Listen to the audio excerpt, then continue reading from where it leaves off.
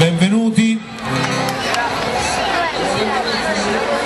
Sereni e ascoltate le canzoni che vi propongono le nove contrade in gara questa sera al Palio di Artena.